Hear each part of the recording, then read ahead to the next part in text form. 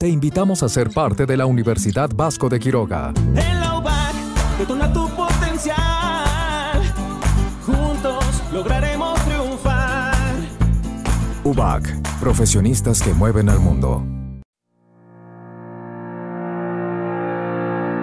Esta semana dio inicio la jornada de vacunación contra el COVID-19 en la capital queretana, con la cual se prevé inmunizar hasta 90.000 adultos mayores de las siete delegaciones de esta demarcación.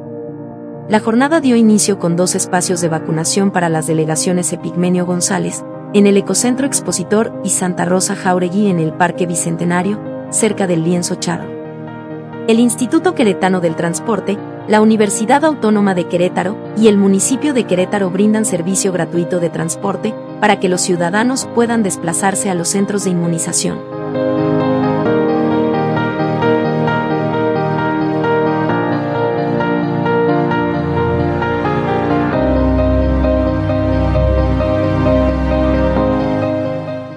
Además se anunció la apertura de otros tres espacios para la aplicación de las primeras dosis.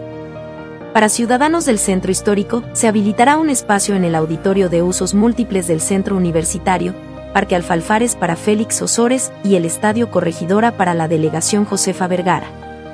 Sin embargo, es a través de las cuentas oficiales de bienestar en donde se actualiza la información sobre las colonias, delegaciones o letra de inicio de apellido paterno, así como los horarios para poder asistir a la inmunización. ¿Cómo calificas la logística de vacunación?